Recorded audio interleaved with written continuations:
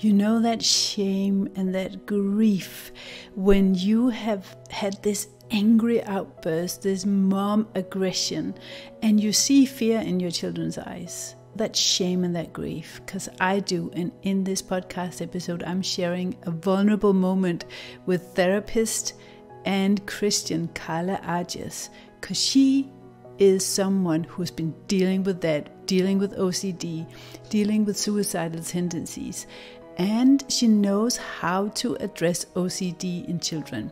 There's a difference between having a symptom, having mental health issues like she does. She's diagnosed bipolar and borderline, and the diagnosis is not your identity. Jesus and your faith is your identity. So, this is a very healing episode in the podcast. We're going to talk about how grief and shame and episodes like that can either destroy you or you can heal through them. And Carla will share the two different strategies for that. She's also going to share the challenges of having been brought up in traumatic childhood trauma and traumatic circumstances and how to avoid bringing that into your parenting as an autism mom or an autism mom just in general. So, we're talking about faith, we're talking about healing, we're talking about OCD and how to deal with that in your child. And you're going to understand how to involve Jesus, how to take scripture and implement it and enhance your healing journey through that. So, welcome to this podcast episode. Let's get to it.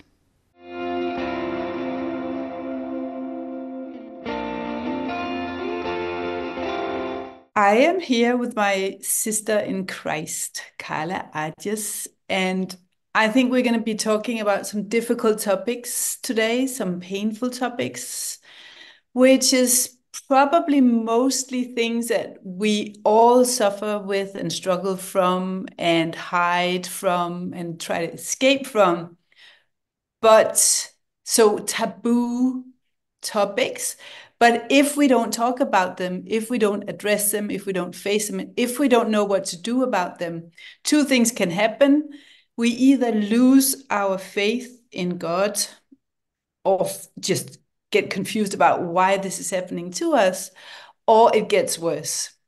And you, Carla, you've got an incredible story and quite uh, some diagnoses. And today we're going to talk to moms who have children with diagnoses, but we also, as autism moms, often struggle with mental health issues. Mm. So, why are you doing what you're doing and why is it important to you? How did it all begin? Well, thank you so much for having me, Ninka. Um, and while I don't have a child with autism, I do have a child with pretty severe OCD. So I do know what it's like to have to support a child that's struggling. And I think it's fantastic that you have this podcast and that you are reaching out to moms and supporting them. So I applaud you for all your effort. Um, Likewise. Thank you. So, my journey started really as a child, and where I am now today, working as a Christian mental health coach, is never where I would have foreseen myself. Um, being a product of childhood trauma and having mental illness challenges, I actually never thought I would live past my 20s. So it is a testimony to God's goodness that I'm here today. I um, recognize that. I recognize that feeling. Tell tell us a little bit more about that. Or maybe you want to just continue and then come back to that suicidal um, tendency or thoughts that you had? Yeah. Because I know many moms with children who struggle have that. Yes. So it started when I was young. I grew up in a home. Um, and I will say this because sometimes it sounds like I'm talking very harshly about my parents. I believe that most parents do the best that they can with what they have, and that my parents had their own baggage of trauma that in that generation was never dealt with. And yep. so it passed on. There's generational passage of trauma. And so they passed on what in their heart of hearts they wouldn't have wanted to pass on, but it happened. And so I grew up in a home where there was untreated mental illness. My mom has mental illness and it was untreated. And it created a lack of sense uh, of security. And really, when we talk about trauma, sometimes we just think about shock traumas like big assaults or big accidents where trauma, especially when we're looking at kids with trauma, that developmental trauma or that complex trauma, it really has to do with not feeling safe and secure, mm. having an event happen where you feel helpless. And in early childhood life, when you're trying to create a secure bond with your parents, when that secure bond fails to happen, you can grow up in with a trauma informed brain, a brain that's been developed in the construct of trauma. And so it operates differently. And I remember I really struggled living in a what was supposed to be a Christian home and then having these parents where I didn't know if I was going to be loved one day or ignored one day. I didn't I never knew what to expect. There was always this walking on eggshells and fear that love was going to be withheld, that I wasn't going to be good enough that day to receive love. Um, there was definitely a little bit of violent tendencies in my home, mm. um, which created more of a fear environment as well. And I struggled with the goodness of God in all of that. And while I had given my heart to God as a child in my teenage years, it became really hard for me to trust the goodness of God while I was living out my experiences. And mm-hmm. when I was 13 was the first time that I tried to take my life. Um, and just felt so disillusioned. Um, I was living on my own since I was 14. My parents kicked me out of the house. And in trying to cope with that, um, you know, 14, you're still a child. Like you're you're not developed um, it led to a lot of bad coping mechanisms drinking drugs um, and really just numbing right we we tend to want to numb pain mm-hmm. and i get it no one likes to feel pain the challenge is we can't heal what we don't feel and it takes going through the hard emotion in order to release the hard emotion and I didn't know that. I just numbed.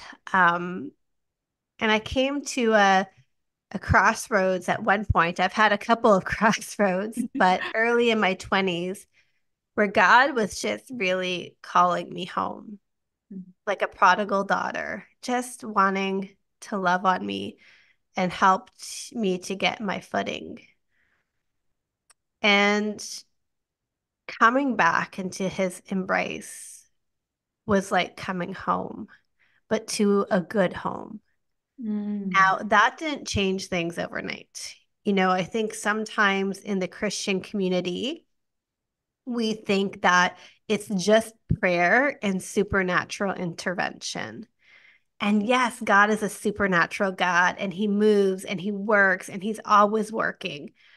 But oftentimes he partners with us Mm-hmm. that our prayers are answered in partnership with the Holy Spirit in doing the work.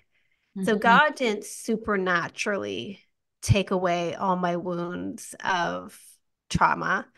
He didn't supernaturally heal me. I have borderline personality disorder and bipolar disorder. He didn't supernaturally heal me of those things.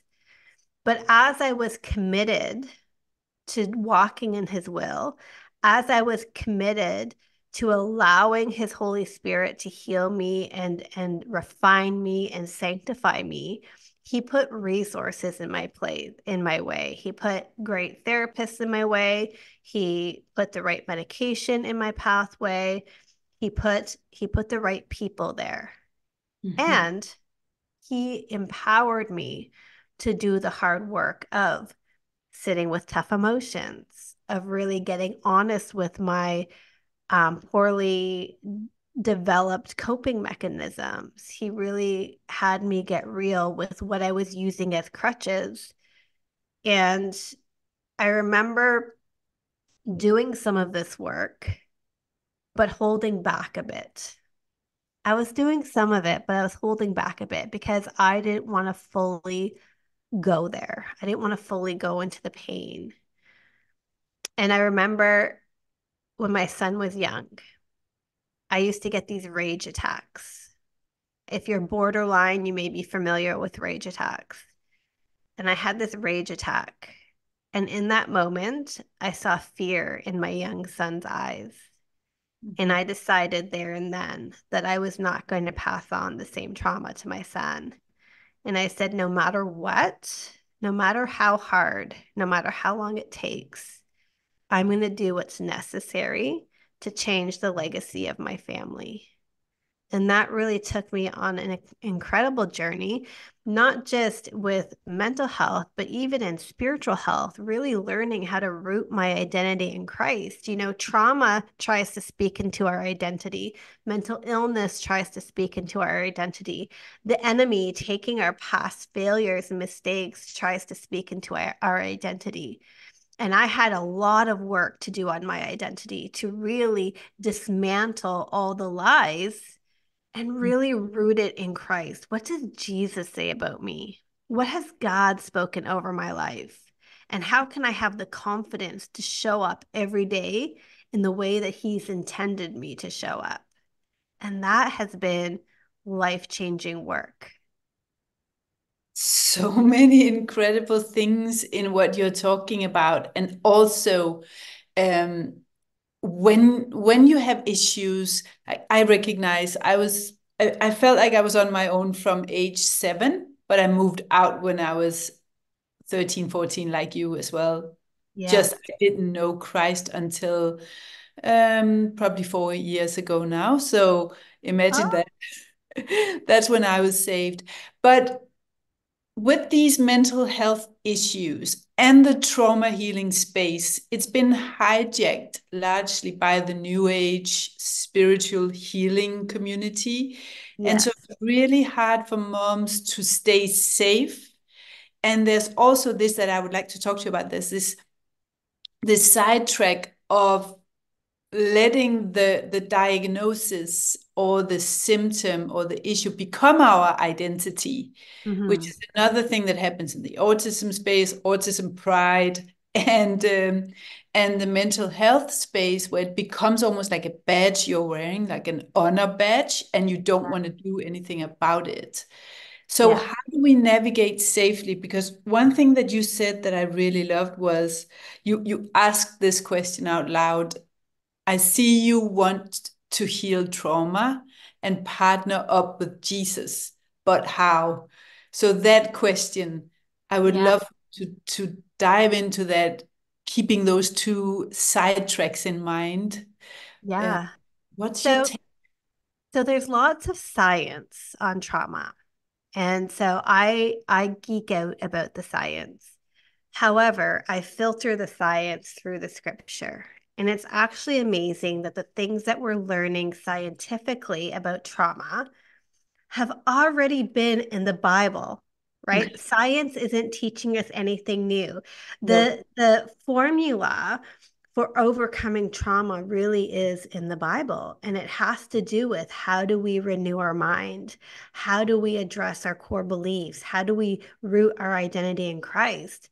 How do we lean into forgiving the unforgivable? How do we lean into acceptance? How do we lean into grief and allow ourselves to move through all of those things, which are important intersections in healing? The science says, yes, when someone operates in forgiveness, we see a decrease in anxiety, a decrease in depression, an increase in immune function we know that when we when we walk in acceptance we move out of victimhood and we're able to better problem solve and create the life that we want. We know that through research. We know scientifically through neuroplasticity that you can actually create new neural pathways of thinking in our brain which is the renewing of the mind. And so there's this beautiful practical steps that the bible has laid out that science shows in how we can renew our mind. Now, I do know that in the space of healing, in the space of overcoming, there's this self help world secularly, secularly that want you to believe that you're in control of your healing 100%, that wants you to believe that you can do anything, that wants you to believe that you are limitless. So we have to be careful when we're engaging in this that we're not making ourselves God. And that's the area of the self help world. The self help world wants to elevate you to God. Well, the truth is, I can't navigate this on my own. I need God. The truth is, I'm not limitless. I'm limited. I need God. The truth is that I, I can't do this on my own. I'm not equipped on my own. However, when I invite the Holy Spirit in, when I use the Bible as my measuring stick, when I use the scripture as the truth that I'm planting in and using the scripture as the healing balm to my soul, then we get true restoration. Then we actually see God redeeming our story, and He continues to redeem our story over and over and over again. So it is recognizing that yes, I do have a role to play, but I'm not the lead. The mm-hmm. Holy Spirit is the lead. And my my manual for truth is the Bible. And that's really where we have to come to in our healing. We have to be willing to heal. Yeah. While God can supernaturally heal us, in my experience in the developed world at least, so Europe, North America, God often works in partnership with us for our healing and that it's work to do. And part of the redeeming of the story is taking what was meant to harm us and use it to sanctify us, use it to grow us, right? So that is why often he doesn't supernaturally just take away the pain he walks us through it, right? When it comes to identity, I know that there's often a time where our language speaks to our identity, and we have to be so careful.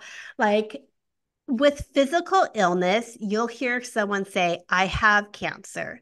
Yeah. I have diabetes. They don't say, I am cancer. I am diabetes. And yet, somehow in the mental health space, we've mm-hmm. taken on language that says, I am bipolar, I am borderline.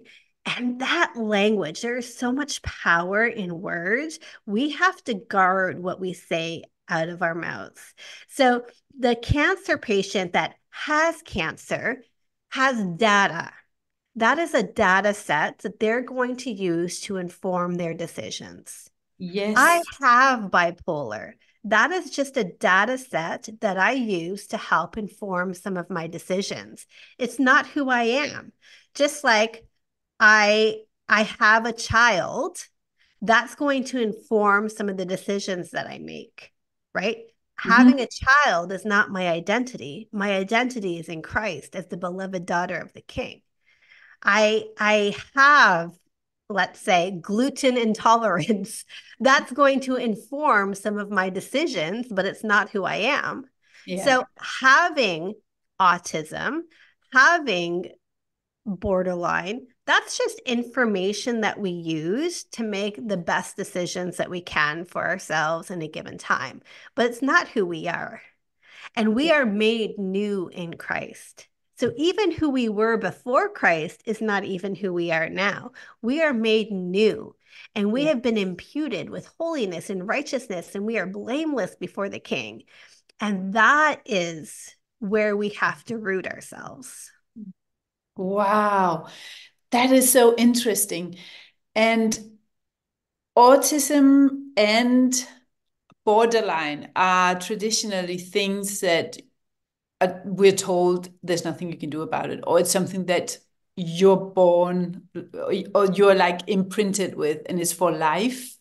Yes. So could you, for those who don't know what borderline and bipolar, those two different things, what it is, and how you have partnered with Jesus to give you that data and and use the things that the Holy Spirit has, has laid out for you, but then not letting that become your identity, but letting Christ become your identity. And how have you healed through this? Or yeah, um, borderline is a great example to use because borderline is also neurodivergent, just like autism is. Um, and so, borderline is a developmental issue of the brain. So, uh, you will find that most people with borderline have had trauma in their past trauma as a child, when you exist in a traumatic space as a child, how your brain develops is different. So with borderline, there is can be intense rage. There is something called splitting where you love some someone and then you hate them. There is a lot of impulsive behavior. There's a high suicide rate with borderline. There's a huge fear of abandonment. There's this a lot of dissociation that happens with borderline. There's this thing of never really knowing who you are, having this chaotic sense of self with borderline. Um, and it impacts how you show up in the world. Um, unfortunately, there's even a lot of therapists that don't like working with borderline because they they find it's too hard, that it's really hard to manage borderline. Now, borderline, unlike bipolar, um, its its first line of stabilization is through therapy, not through medication. It's about learning how to essentially rewire your mind. It's not that that brings healing, but in learning the coping strategies and learning how to rewire your mind, you open up your window of tolerance. And so mm. you gain greater capacity to deal with life and not resort to negative coping mechanisms. Mm-hmm. Um, and so the leading type of therapy for borderline is called dialectical behavioral therapy. It's a subset of cognitive behavioral therapy, which is really a top-down therapy. So if we look at the development of the brain, it's it's engaging with the prefrontal cortex, and that's how we are doing that type of therapy. Bipolar also has mood swings. So bipolar has a lot of mood swings. The difference is bipolar could have five different mood swings in one day, where bipolar is stretched out. You'll have a period of a high, then a period of a low. It's not as frequently changing, although you can. And I've had manic episodes and I've had really depressive episodes that are dangerous to yourself, to your relationships, to your finances. And so, with bipolar, the first line of treatment is medication because that actually has to do with the makeup of your brain, the neurotransmitters in your brain, and how they function. So, it is more um, of a physiological uh, illness that medicine really does a lot to support. Okay. And so, how I invite God into this process is letting God inform who I am. And so I've really learned, and I do this with my clients that come to me with mental illness, is that because we have been so quick to assume our identity, we often don't recognize who we are versus who our illness is. Mm. And so, hmm. one of the things I teach my clients and what I've done myself is I've learned to recognize borderline borderline is not me. Mm-hmm. I see borderline as separate as me, as having impact on me, but it's not me. So I have learned to distinguish when a thought comes that, like, oh, that's a borderline thought.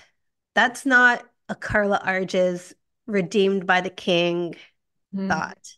And so, how I treat that thought is with compassion, but also with authority. Mm-hmm. That that thought, while it's there, and I have compassion for my life that's caused this illness, because you got to have compassion for yourself. You got to have grace for yourself.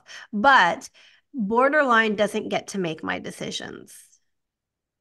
Mm-hmm. I see you, borderline, but you don't get to make my decisions. So sometimes when borderline gets really loud, I have to make sure that I'm being louder, that the mm. truth of God is being louder. And one of the ways I do this is with constantly, so regularly, intentionally speaking truth over myself. So I created a list of all the ways borderline lies to me. Uh-huh. And from that list, I created all the truth of God's word.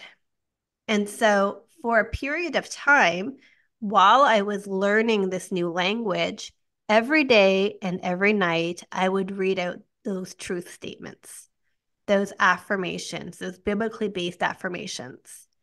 I oh. didn't just say them when a negative thought came because you have to be in training. You have to be in training, right? Like a, an Olympian doesn't just show up for the Olympics, they spend four years training. So I was in training. I was reading these truth statements, planting them in my brain, literally creating new neural pathways of thought yeah. by repetition, consistency of speaking God's truth over my life. Now I'm very proficient in that. Now, borderline hardly gets to bully me because mm-hmm. I've been so proficient in my training that I can recognize borderline, take it captive, put it into obedience of Christ, and act as if I am the child of God because I am. But it takes intentionality, right? It takes consistency. We don't fight against flesh and blood, right?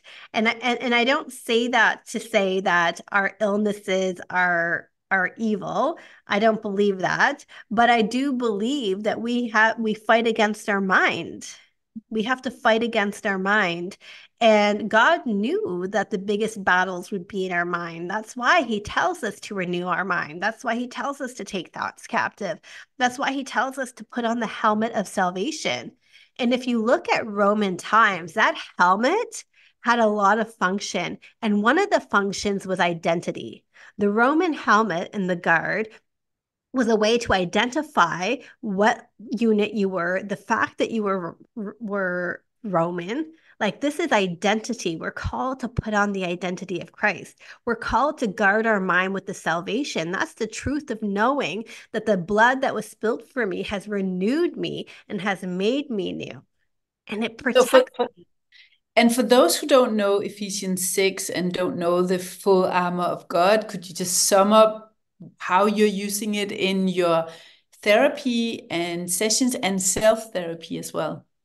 Yeah. So the armor of God in Ephesians is our it's an illustration that Paul gives on how we are to navigate the world and navigate the forces of enemies that are attacking us to navigate the secular world that wants to speak messages, right? The enemy is only one person, he's not omnipresent. So everything you experience is not a direct attack of the enemy, but it can be the result of living in a broken world. So we have to be prepared for that. And so the the the uh, armor of God is primarily defensive weapon um, weaponry. The helmet is defensive. The breastplate is defensive. The belt is defensive. And so we have to say, are we doing the things that we need to do to guard ourselves guard ourselves against the lies of the enemy, guard ourselves against the lies of lies of the world. And then our one offensive weapon is the sword of the spirit, which is the word of God, which is why you have to know biblical truth, which mm-hmm. is why you have to get into the word. And I know so many women, um, because I work primarily with women, this could be true for men as well, but feel overwhelmed or intimidated about getting into the Bible. And so they rely on devotions only. Yeah. And devotions are not a bad thing. I write devotions, I have one on Amazon. Um, but that is not meant to be the meat. That's not meant to be the main course. And you've got to get into the word. And I want to encourage you to say that you don't need to be overwhelmed or intimidated by it because as you earnestly seek the truth, the Holy Spirit is with you to reveal it. I think sometimes we have this idea of what Bible study looks like and it's hours and it's quiet time and it's and it doesn't have to be that way. It doesn't have to be that way. In fact, there's multiple ways to study the Bible depending on your learning style. Mm. So that is is going to be important for those who are uh, autistic who may have different learning styles. There's different ways to learn the bible um, and to study the bible. Um, i have a bible study 101 course that goes through these different ways but one of them is even uh, Bible journaling and drawing and bringing the Bible to life through drawing. So, if you are more creatively bent, if you're more visual, then that may be a great way that you study the Bible. So, mm-hmm. I don't mm-hmm. want people to be intimidated or or overwhelmed. This is your offensive weapon. And the enemy wants you to be intimidated because he knows how much more powerful you're going to be when you pick up that weapon. Yeah, that's beautiful. So so pick up the Bible. Maybe start if you're new, start with Ephesians so that you can read that was one of the first things that I learned about when I was completely green and it's so important.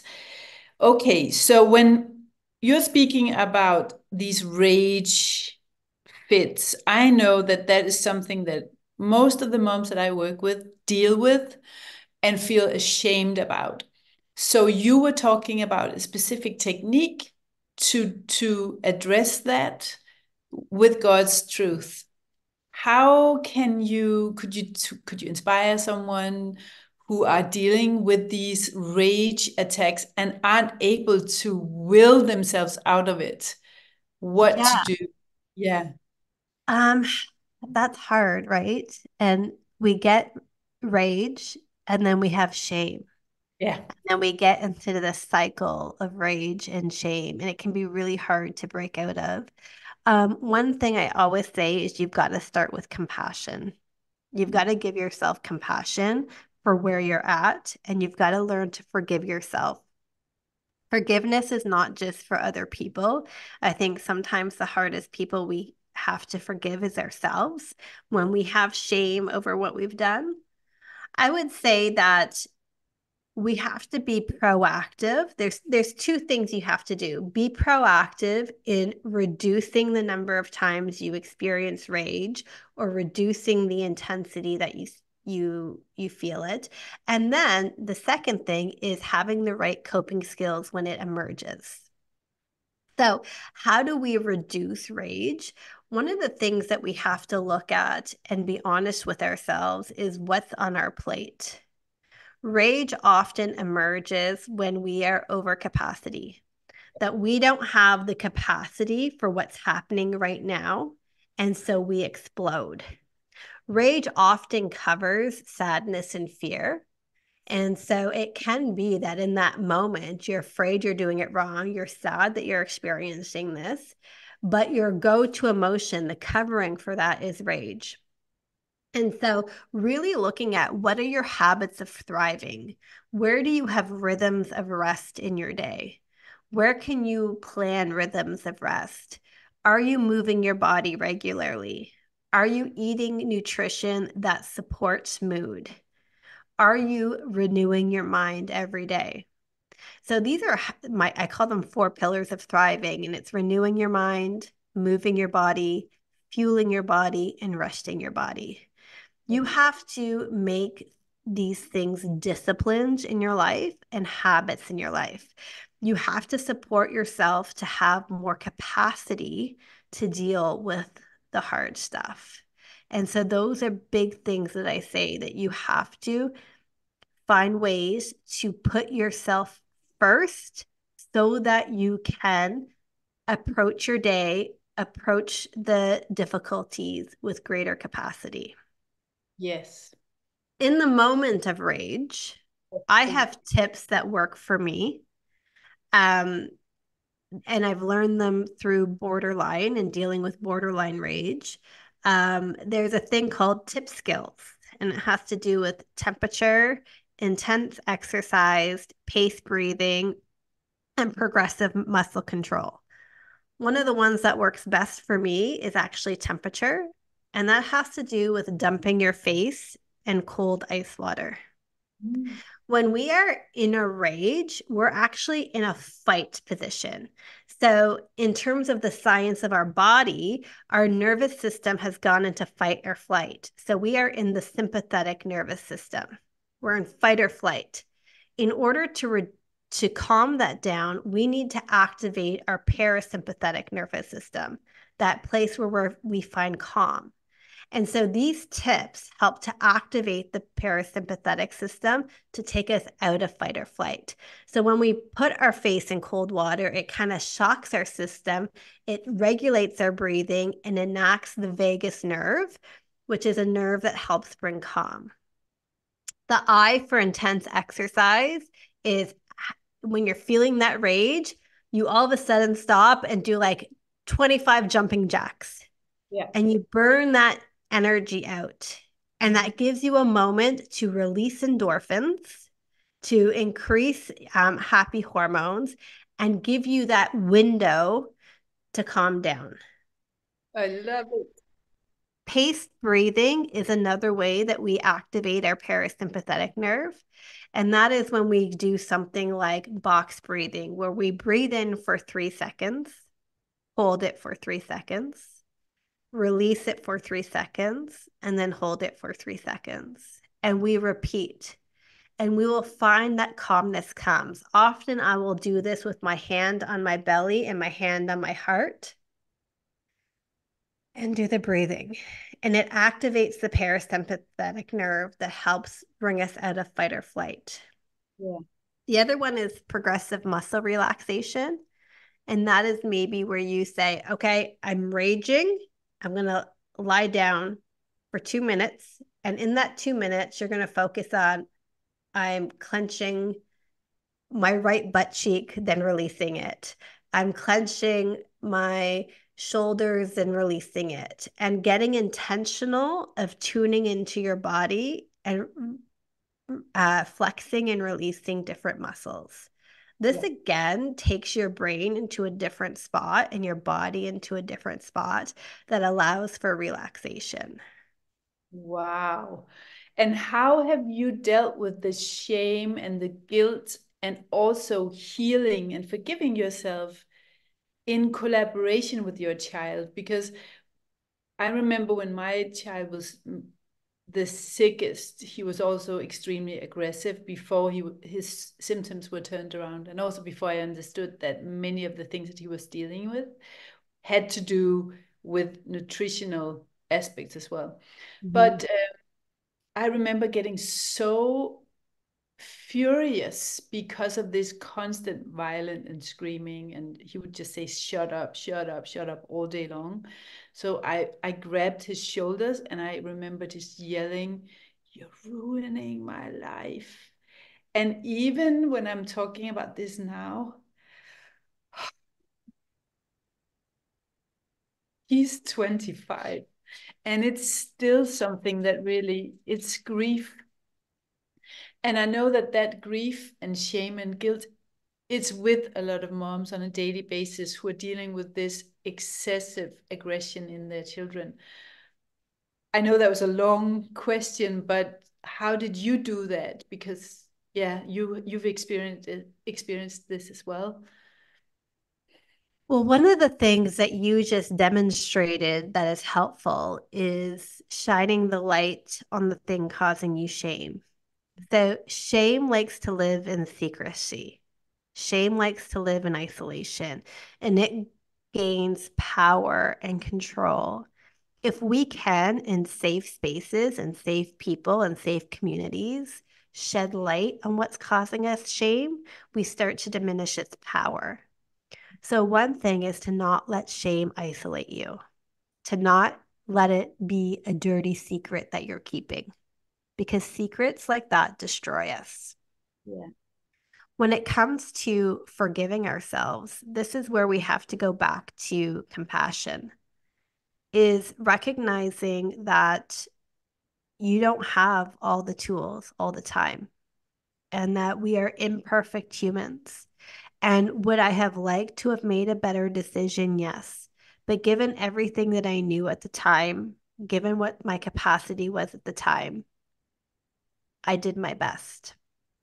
and leaning into that compassion. I think sometimes we're afraid to give ourselves a compassion because we think we're letting ourselves off the hook. Compassion isn't about validating our choices as right. It's about having empathy for what we were experiencing when we made those choices and, and really and that. that with your child did you say this is what what was going on in in me and this is why it happened Yes. So the other thing, so there's there's about what is shame doing to ourselves, and then there's the as- aspect of repair. So where we've caused rupture, we have to lean into repair. And mm-hmm. how we do that is with honest conversations to say, I didn't mean to do that. And you have to do this with what is age appropriate. When my son was be- very young and I was working through borderline and bipolar, I said, Mommy has a little bit of sickness in her brain. And sometimes that makes her go to a black spot and it takes control over her. And it makes her do things that she doesn't mean and that she doesn't want to do. And so I kind of explained it to him like that. And that also gave us language that when I was feeling rage come up, I could say, Oh, I feel the black spot coming. Mommy's just going to take a second and try to get control over it. And so it gave us language on how to describe it. An apology. Like we need to apologize to our children to say, I'm really sorry that that happened. That wasn't about you. That was about me. You, I love. You are lovely. Because whenever we lose control, it actually isn't about our kids. Mm-hmm. It's about what we're experiencing in the moment and our ability. How are we triggered? What wounds are being brushed up against in that moment, right? It never really is about our kids, even if they're misbehaving, it's about us. And so being able to say to them, I'm sorry, that was not about you. I don't want you to own that. I don't want you to internalize that. I'm so sorry. Here's what I'm doing so it doesn't happen again. Right? Because we also, repentance requires a change. Yeah. Repentance requires a change. So here's what I'm doing so this doesn't happen again. Yeah. And then and, take that action. Yes, which were the the tips that you shared with us before. Yeah. Is it okay for us to talk about some of the things, the symptoms that your child has been struggling with, or you want to keep that private? Because if you do, that's totally understandable. Oh no, we can we can talk about it. Um, he has been uh, open. Now, as he gets older, I ask his permission more, but he has been open in letting me share certain aspects of his OCD. And the ones that I know he's not open to me sharing, I won't share. No. But he has OCD. OCD, if you don't know, is a class of anxiety disorders. Um, OCD is actually also neurodivergent as well. So he has that. He also has a tic disorder that goes along with it. Um, but OCD has to do with obsessions and compulsions. And the way Hollywood has painted OCD is really far from what the reality is. And because I did not understand OCD, my only exposure to OCD was through the Hollywood lens. I did not recognize it in my son.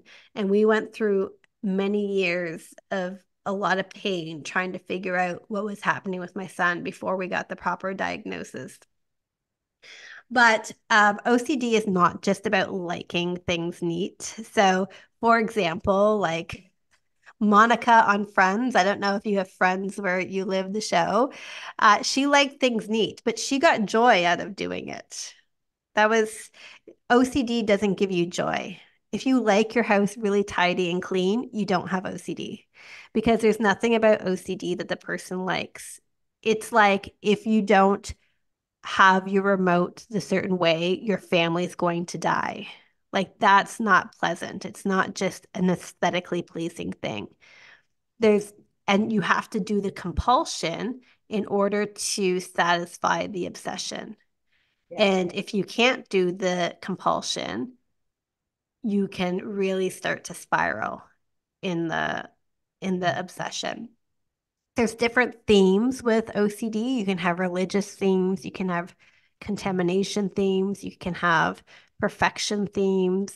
Um, my son definitely has contamination themes. Um, and actually, he just lost his job, I think, in part because of how he struggles with OCD. So he's 15. He had a part time job at a restaurant um, where he was the host and seating people, and then he had to clear tables. And he told me a few weeks ago that he was having a really hard time with touching napkins that people had used. It was so hard on his OCD that going to that job was so hard. And I think because it was so hard, he avoided doing it or didn't do it well because he didn't really want to touch the things. And he ended up losing his job, which is unfortunate, but also a reality of people with mental illness, right? You have to, and probably for autism too, you actually have to find a job that fits the limitations and the positive sides of your illness, right? Because there there is positives that come from some of these things as well. Yeah, yeah. I'm curious about your approach to it because in in in my approach and with my family and the way that I um, help moms, we also look at the the biochemical, bio individual nutritional yeah. So a lot of these children have undermethylation, which is high histamine, low methyl, and the low um, methyl affects neurotransmitters like dopamine, serotonin, and it also creates this rigidity, and that can be adjusted with certain nutrients. So there's been a lot of non-profit studies on that. We can talk about that on another occasion. But I'm so for my my son, it was flicking light switches. It was he had to pack his whole room for him to be willing to go anywhere. Meaning yes my bed, my table, all the chairs in one bag for me to leave the room. And obviously, that's not sustainable. Yes. Those are the things that he lost. Now it's a milder things, like the way we load the dishwasher has to be in a certain way, you know, things like yeah. that. But yeah. copable. It's it's manageable. So, what's your approach towards dealing with and helping people with OCD, including your own child? So, one is teaching him to recognize the voice of OCD, for him to recognize it's not his own voice. Yeah. So, being able to determine, oh, this is an OCD thought. And so it requires a different action than if it's my own thought. So, really teaching him to distinguish the two we really um, believe a lot in movement as a coping mechanism. And so he is involved in sports, he works out. Um, movement is so, I think, such a underrated medicine, really, for a lot of conditions. Um, we he eats really nutritious foods. We don't do a lot of processed foods, no dyes, things like that. So, monitoring that.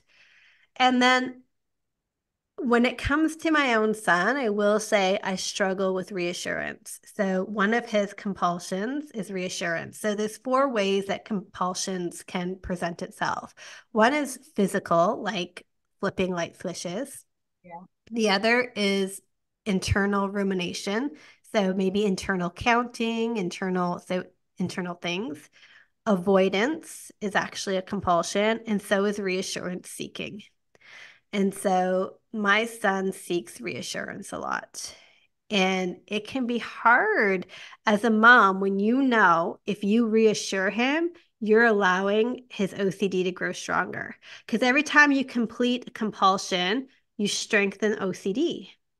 And so he comes to me for reassurance. Like, are you sure I'm not going to get sick, mommy? Like, this is one thing that comes up. Like, if he touches something small or something touches his arm that he thinks is, are you sure I'm not going to get sick, mommy? Are you sure I'm not going to?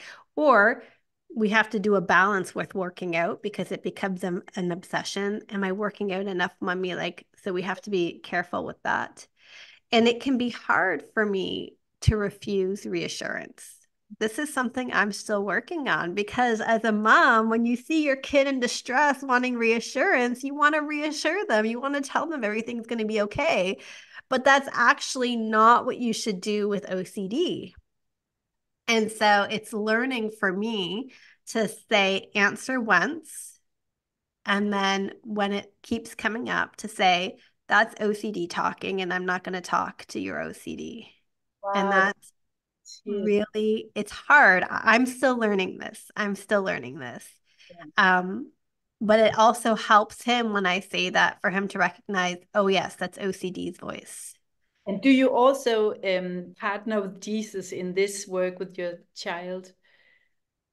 I'm sorry, can you repeat that? Yeah, do you also um, partner with Jesus in this work oh, Yes, yes, definitely. So he has a strong faith of his own. Um, and I reiterate to him, you know, you have to get into the word. So he has a Bible study practice of his own. You have to know who God says you are. Um, you have to know that God loves you and has compassion for what you're dealing with, and he doesn't leave you alone. So faith in our house is foundational. Like everything that we do is through the lens of, of faith. Um, and I often remind him of his namesake. So his name is Caleb. And I often remind him of Caleb in the Bible, of Caleb's great faith and great reassurance of who God was and of who God said he was.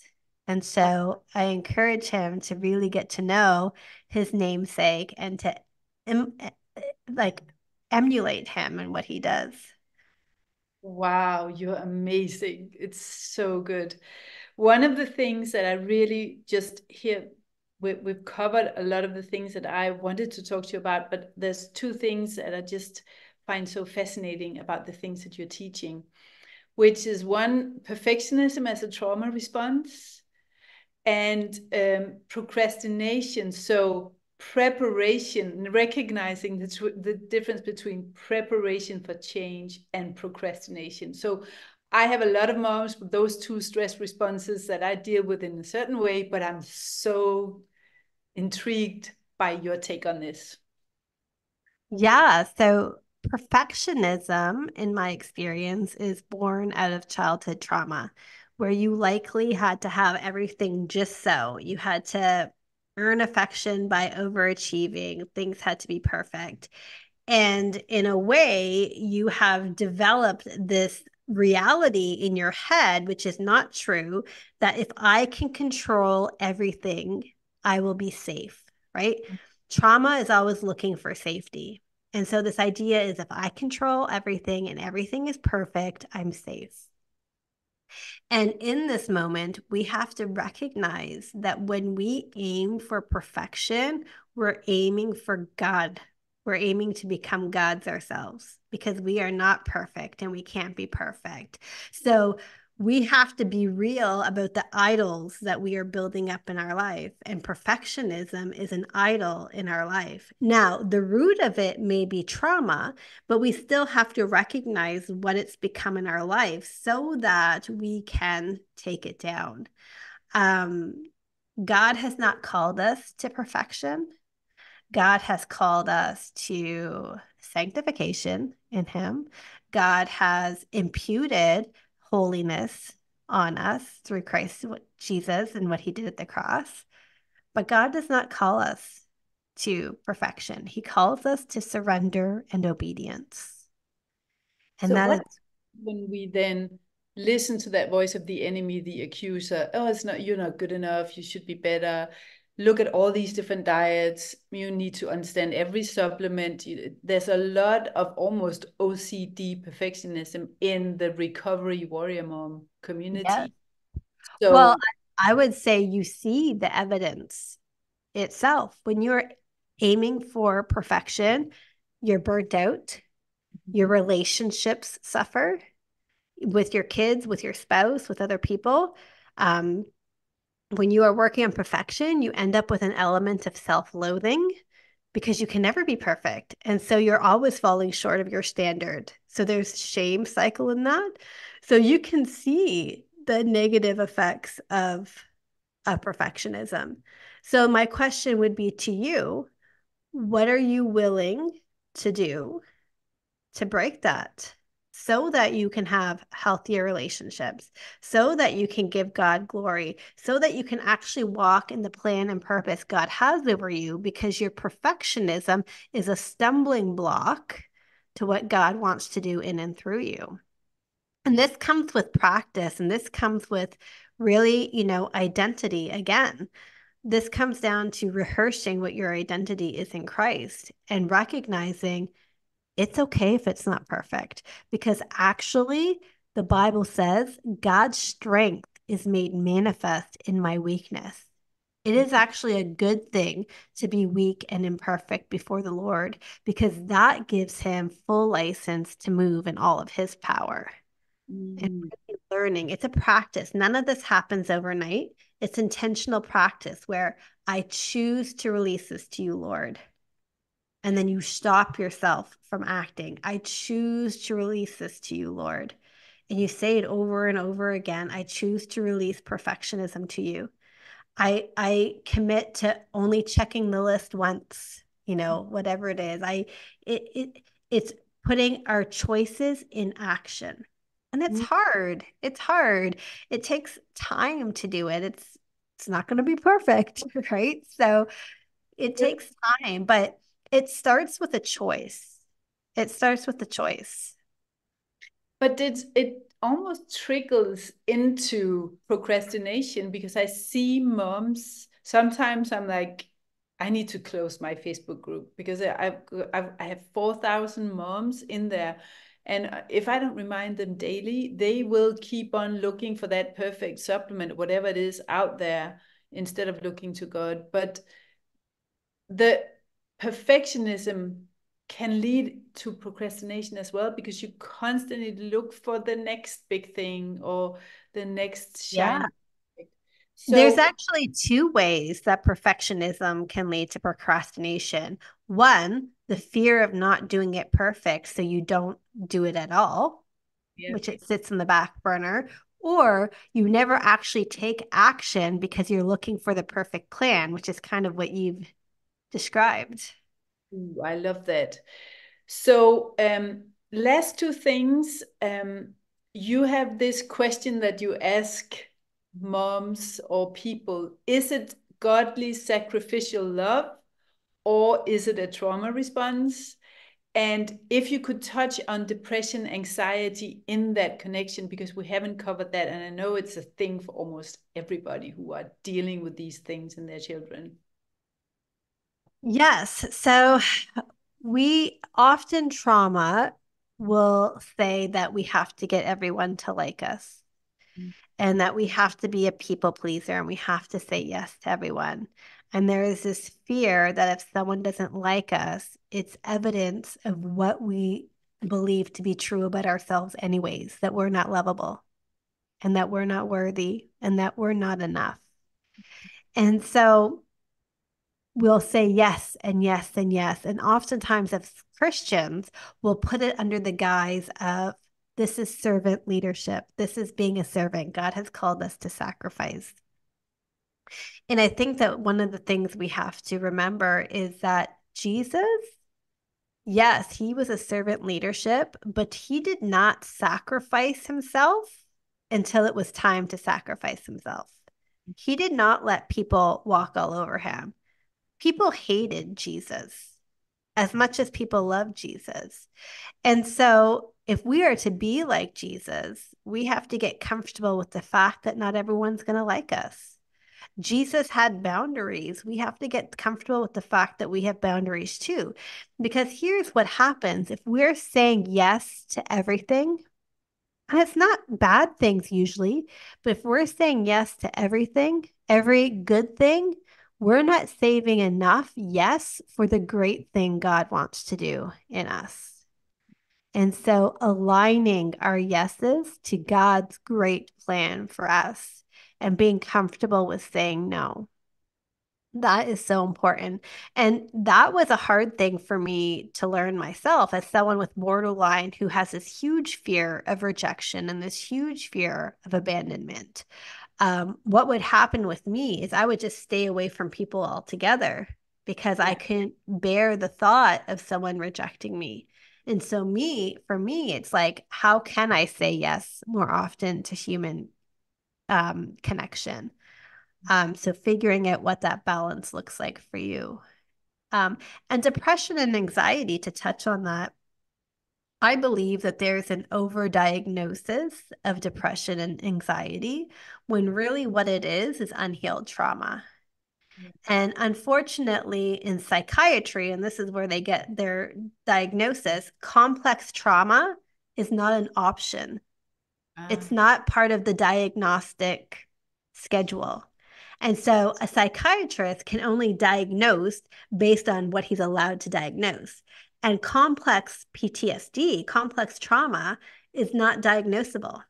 And so mm-hmm. you get people diagnosed with depression or anxiety or other things that really it's just unhealed wounds from trauma. And what they need to do is heal from the trauma. Yeah. And so I would say if you're suffering from anxiety and depression, ask yourself what wound do you have? Where might you be wounded? Maybe you don't identify as having trauma because you weren't physically or sexually abused. But again, I want to remind you that trauma is about any event where you didn't feel safe and that you felt helpless. Mm-hmm. That is what produces trauma in us. Mm-hmm. Wow. Carla, that is just incredible. What a beautiful piece of work that God has chosen for you to, to bring to us. And I just want to thank you so much for sharing. And if people want to learn more from you, where can they find you? I definitely want you to teach my community as well about this. But where can people find find you um, online? So you can go to my website, carlaarges.com. I hang out most on Instagram at carla.arges. And I'd love to give you, your audience, a free workbook on how to renew your mind. So, mm-hmm. how do you do that? So, I'll give you the link and you can put it in the show notes and they can download it. It's a free workbook on how do you actually practically renew your mind? What are the steps to take to do that?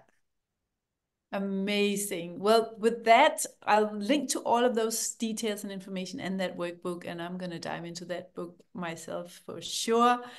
Thank you, Carla, for your time and for your heart for Jesus. Oh, thank you for having me. I really appreciate it. It's been an honor. Thank you. I really hope that this episode blessed you and gave you some peace and healing and tools for your turnaround or your recovery process.